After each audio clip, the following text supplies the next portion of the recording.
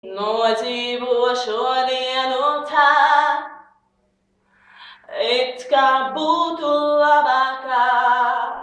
Un ja nejauši mums ir divas kājas, divas rokas, bet tikai viena sirds, lai mīlētu.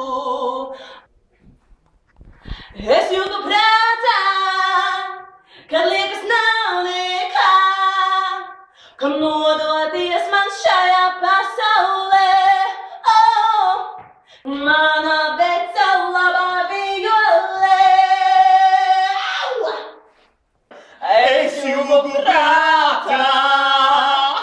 On you got out this. Sada Kio tebe! Uh!